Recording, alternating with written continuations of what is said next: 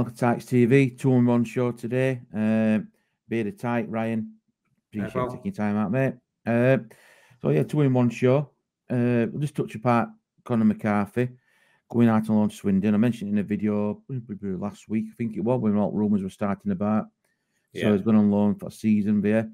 all being well, Ryan, he can get some minutes under his belt because it's an area. It were a bit of a Whedon. It's an area that we like. You can see that we're lacking. Uh, but Conor Yeah. McCarthy come back from a bad injury, didn't he? He's made some cup games, but gone out on loan. Yeah, he's had, I mean, he's had a really bad injury, and he's he's had he's you know he's had a good year out there and thereabouts. mhm. You know, he's he's been out for a good, and I actually thought he made a really good start for us. I was really impressed with him. Um, you know, he's, he's, he's certainly got an attacking side to his game. So I, I, I- I genuinely I feel for him because I thought I thought he played really well for us before he got injured, and for whatever reason, it's different manager now. He's not really been given a chance at first team, um, apart from odd um, Pizza Cup or whatever it's called now, Bristol Street Motors Cup. Mm. Um, and you know, considering we've needed a, a right centre back, you know, right-sided mid, a right-sided centre back, sorry, and, and he's he's proceeded to play Williams in that position for all that time, rightly or wrongly, probably wrongly, but he's not used him, and we've actually gone out and bought another one. We, you know, we've actually gone out and signed Donovan Pines. Um, so he's clearly out of. You know, he's he's not certainly not in Neill Collins's mind to to even get on bench at minute. So whatever's going on behind closed doors, we don't know. But I'm I'm pleased for the lad that he's going to go out and get some football because I think he's a really decent footballer. So Mm. yeah, it's I, th- I think I think he's best for both parties, mate. I think. Yeah, all being well, it's you know he can come back and do a job for Barnsley. If not, then at least he's back playing football after, like you said, that bad injury. We're out Yeah, here, uh, so you know, first and foremost, all being well, he, he, he- can fall in love back with football and get match uh, match uh, Hope some so, matches under his belt. Going back to Carlisle game, then uh, Ryan, definitely a game of two hours. This one, mate. Uh, first half, we're lucky. You know, we want three, four, out down with so much chances, mate. But we seem to be Yeah. like just standing them on the plate, won't we?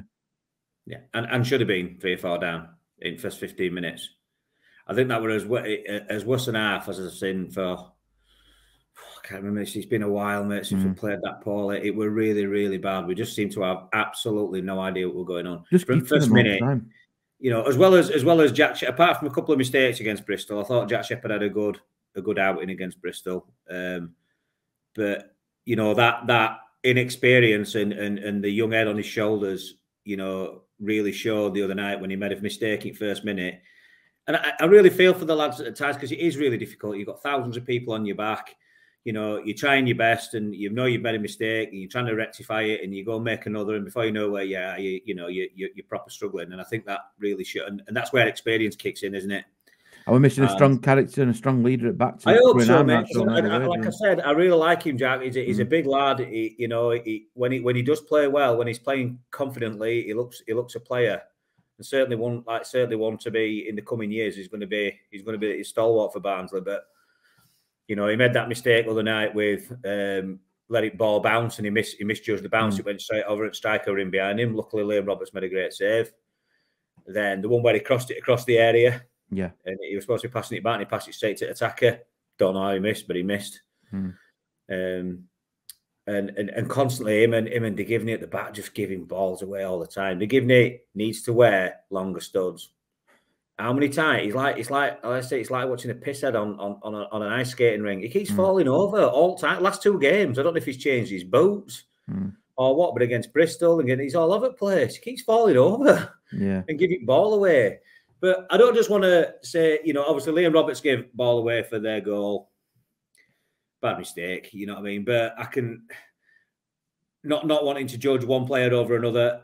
He, he saved us a lot of times this season, so I can, you know, I can probably give him that one. To be fair, the amount of times he's pulled off absolutely amazing saves where it should have been a goal, Hmm. I can probably I could probably forgive him for that one. And he knew. Uh, I mean, I think he knew because he, you know, apologised, isolated full time. Uh, we're going about full time. He will do. He will do, mate. Because you know, you, you know what he's like. He's a very, he's a very passionate player. He wears his heart on his sleeve. You can see it when we score and when we win. He's so, he's so emotional and so um, involved with, you know, with the club. So I, I can give him that one. I can Mm. give him that one. But it weren't just, you know, it weren't just him. And I think if Carlisle have had the shooting boots on, would have been three or four not down to being game over after 10 minutes. But um, also going forward, it was so slow and pedestrian when it? We were getting yeah. into areas and too many touches in and around the box and not getting a cross in, giving ball away um, up top and just not not actually getting forward. I think we had two shots all half, both of them off target, well off target. Mm. It, it it were it were rubbish, mate. Let's you know, let's call it what it was. It were absolutely garbage that first half. I mean, we had like sixty odd percent possession, which is fine, possession all day long. But stats is go, you know, balling back in net. It I mean, a lot of backwards and sideways stuff again, Neil. yeah, it? just well, I'm just going to go on to that. Do you think Luca Connell will rush back too soon because it, it didn't it didn't seem to be playing at first half, but I'm thinking mm, maybe he's just been off of, off sorts. But Collins, credit where credit's due, he made he made two changes at half time he obviously needed to make the yeah maybe he did rush him back to him, but you can forgive him that Collins because mm. Luca's his best player mate and if he's got yeah. a chance of playing him you know Luca might have said he would fit when he was maybe just just a little bit off and all that sort of stuff you, you don't know what's happened but mm. he did the right thing by trying to play him in a really really important game although it was second bottom it was game in hand on the rest of them yeah. apart from Bolton and it was a chance to get closer to the to, to you know to, to Peterborough in second and Derby and, and all them so um, yeah, he tried to make the right decision, didn't he? And, and, and obviously, he's gone off at half time. He's obviously because he weren't playing poor, he weren't playing brilliantly, but he weren't playing he weren't playing that poor that he needed to be substituted. So he must the, the injury must have must have must have felt it, and obviously got a big game Stevenage, so he did he did mm. what he needed to do. And actually, the substitutions worked out. I thought they worked really well. Yeah. I was, I was particularly impressed with Cadden when he came on as well. I think yeah. I think he offered a lot more down that left left wing uh, than Styles did. If I'm being honest, I was yeah. surprised that Styles got moved into midfield. I'm thinking again, it's not a player that I don't know. I, I just don't. I, I, just can't put my finger on it with, with Styles at the minute. Um, but Cadden and Varun was going about saying, "Oh, Cadden should have got man at match, even though he come, you know, come on at uh, half time." McAtee, I think he was ruining his socks into ground yet again. Yeah. Um, but again, like we've just been on about it, substitution did make a difference, and we eventually got back into it. Um, and I think as the game went further on, I were hoping that we are going to create something, but it just seemed to be a frustrating, for me, a frustrating second half for what huffing and puffing, not really getting getting anywhere a lot of time. Like I said, that final third, it was be a bit more clinical, a bit more get some crosses whipped in and that. Barry, Barry Cotter, yeah. his froze for me made some like literally like free kicks. His froze. Yeah, yeah. He's, when he comes on, when he plays well, Barry is is is he's a good he's a good player, mate. And he's you know he, he, he were trying to again. Sometimes it weren't working for him, but what you'll find with Cotter is you know when he's poor, he is poor, like but also when he's good, it, can be really, really effective because he's trying to make things happen. Mm. He's fast, he's quick, he's he's in and out. He's trying to, you know what I mean? He's trying to take he's trying to take the uh, defenders on and get a cross in front back, and he's got like a missile like throw. So, you know, as a as a as a sub coming on, he's a, he's a, he can be a really useful player, and he, and he, and he played well other night. He did. He come on and he and he, and he made a difference down that right hand side, uh, and and certainly Cadden down that left again the two different players they play that position quite differently. The Styles and and and, and Nicky, you know, Nicky Cadden. I think Cadden's a lot more. He might get ball away a little bit more, but he's always again a bit like Cotter. He's always trying to try. He's trying to get around that back man mm. in it, mm. trying to whip a ball in, mm. which makes it exciting. And I thought again when he come on, he, he made a real, he, he, you know, he did he did make a difference. And fair play to to Collins because it would a it would a big call taking off Luca Connell yeah, it was a big call at one 0 down. You know, a lot of people were winning out in the crowd, like, what has he done there? You know what mm. I mean? But it paid off, and whereas we weren't brilliant in second half, we were comfortably the better team, and got got you know we got the job we got the job done, didn't we? Yeah, I mean, Devante Cole another goal to his his tally, probably another couple hundred thousand pound top his, you know, on his uh, valuation because they're interesting. It's interesting to see uh, Liam Rosenior come out and said that he's yeah, really words about it. But when you look at newspaper rumblings, I think both three clubs are interested, rumoured to be interested. Sorry, yeah, all, there's going to be interested. He's top scorer in league, mate. He's top scorer in league. But we we know Devante's issues. We watch him week in week out. Where you know if he doesn't score, he's, he's he doesn't offer anything else really. Uh, he doesn't use his pace enough for me because when he when he uses it, he's like he's ballistic and he's just mm. so dangerous when he uses his pace. If he used it more, more often, it just it, would be a wonderful play, you know. And but he's you can't argue with his goal scoring tally this season. He's got 16, so if he only he's got one more goal than he scored all last season. We're only in January. Yeah. And it was a great finish as well. It was a really, really good finish because he hit tight angle and he's threaded it right. We we right, uh, right behind it, maybe in, in our four in Ponte, mm. and just seen it absolutely threaded it like a needle. It's the only place he could have put it, mm. and he put it hard and fast in that bottom corner. So it was a great finish. Yeah, great finish. And from then on, I thought, let's keep going, which, you know, fair play we did. I thought we yeah. were more the attacking threat and a penalty. And some people said, oh, it wasn't a penalty in that. But at the end of the day, five minutes ago, we finally, so we've come back. We've got a penalty, you know, we're ticking out boxes yet again. Mm-hmm. You could have gone back probably a month or two and we'd been like, we wouldn't have come back and we wouldn't have got a penalty. So yeah. we've kind of like done back double voodoo in one in one game there. Herbie Kane stepped up. Uh, yeah, to be fair, straight down middle. Straight down middle, mate. Takes confidence, that mate. Takes confidence that because I think he's. Yeah, I, like I, I, I play goalkeeper, mate. I'm, I'm no striker. Um, I, I, don't know if he's just wait. They just wait to see if they just have a quick look and see if goalkeeper's going, and if he's going, then just put it straight down middle, or you know, just maybe a little bit to the other side or whatever. But end of the day, he's, he's, he's slammed it in confidently, and he, I think he has been our penalty taker, and he the mm. majority of that when we've got him. So I think just leave leave leave Herbie on him if he if he's still with us, of course. But yeah, um, I thought Herbie Kane were a lot lot better in second half. I thought first half he would give it ball away a bit too much, but I thought second half he played really well. Um, Some people said he what uh, deserved like man at match uh, in, in um, crowd and back like Herbie Kane. Yeah, yeah. Well, I won't, I won't, I won't argue with that too much. I know they said it with Nicky Cadden. Mm. A bit unfair on Nicky because he'd only been on half and there were a bit of grumblings in crowd. He did actually yeah, play yeah. well, Nicky, but he was only on, he was only on for half, on it. So, yeah, um, but yeah, yeah, uh, another another comeback win, mate. I think I think we've I think we've buried that little, um, you know, that issue that we had of not being able to come back. We've, we've nailed that now. With that's three that's three games in recent in recent times where we've where we've um, we've done a comeback win. I think with with whatever mental blockage we had with that, we've we seem to have overcome it on about that mental blockage. It's just like it's like the team have got more self belief now, and it's like what some people have been saying. We haven't play, played brilliantly, but we've come away with a win. And yeah. if you if you're managing to do that, then you must be doing something right. Which, yeah, I take that on board. And it's like what you said, Via. They, they, they've, they've ticked that off a cross for out away, and it's like now. What, it, what impresses me is that they never, never, I must have never get up before, but certain heads dropped. Now this it seems like game a kick up backside like Corey O'Keeffe over there. It like spur you on, keep, keep going, keep going, and then keep going. Yeah, you can see. You, I, I see McAtee doing it, me. Yeah, see McAtee doing it, and I, I noticed him do it when when we went two one up against Bristol the other day. It, mm. He went around the more saying, "Get your head on, get your head yeah. on."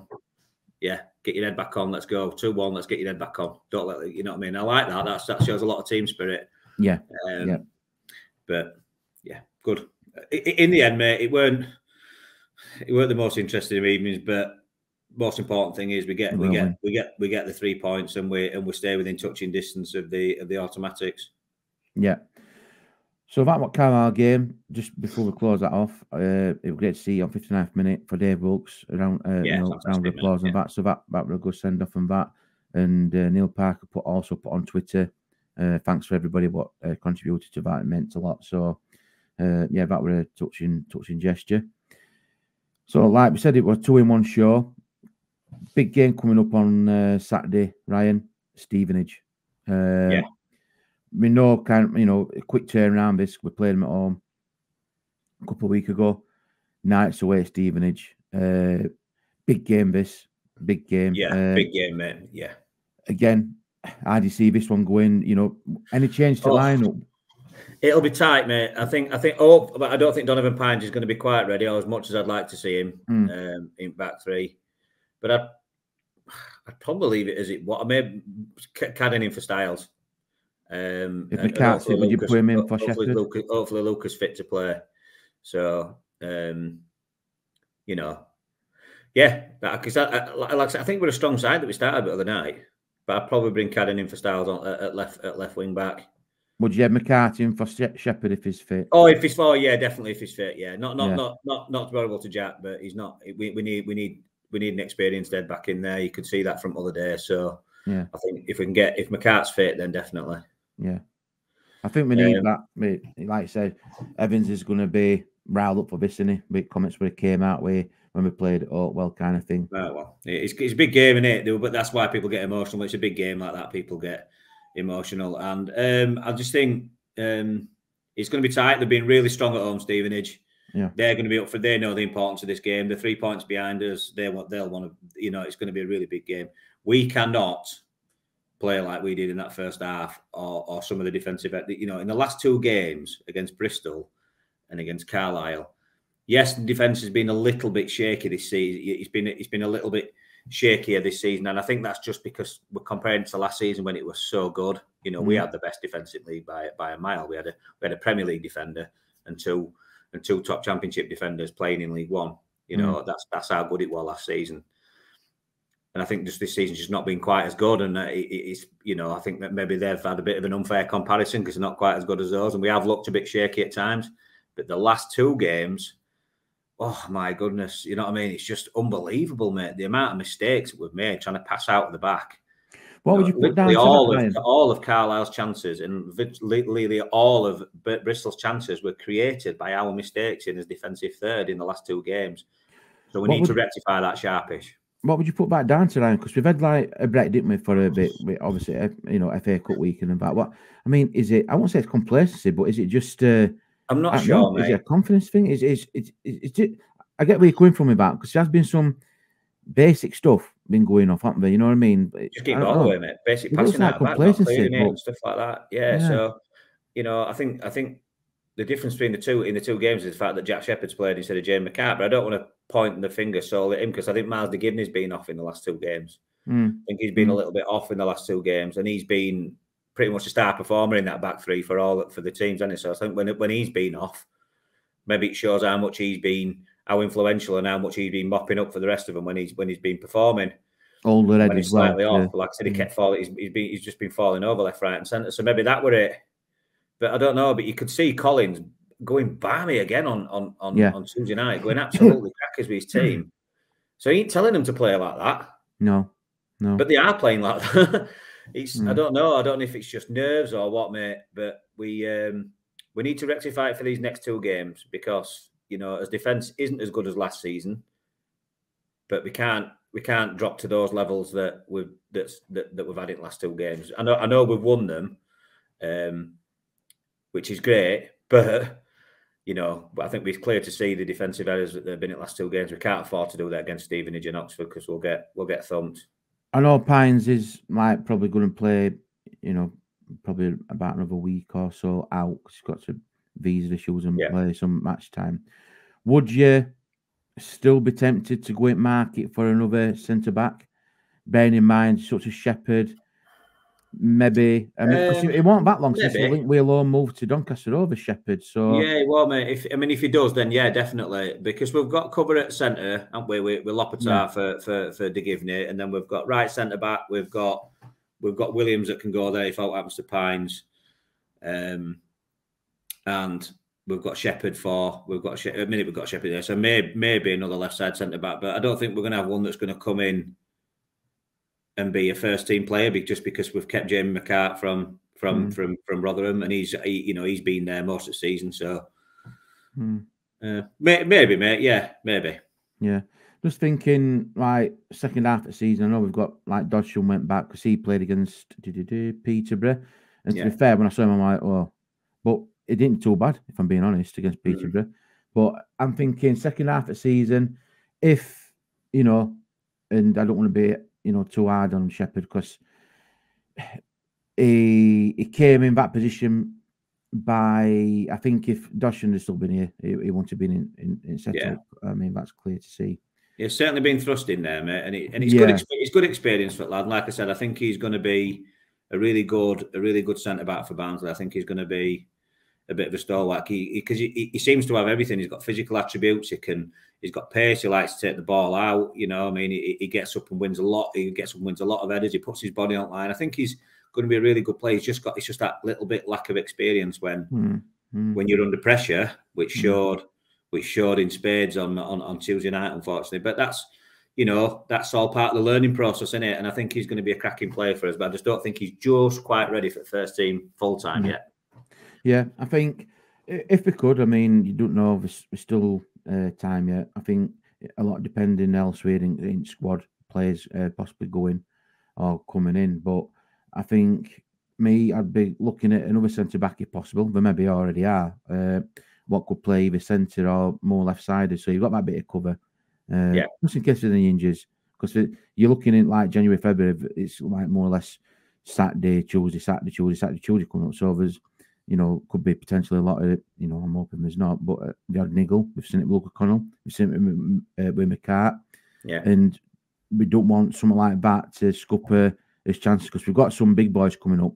Uh, like we said, we've got Oxford, we've got Derby coming up, Bolton. There's going to be some testing games coming up at next ne- uh, next month or two. So, yeah, having said that about the starting, you know, starting eleven on uh, on Saturday against uh, Stevenage, we've got to set off from traps, haven't we? And we've got to implement our game and take take Yeah. game to them, not sit back.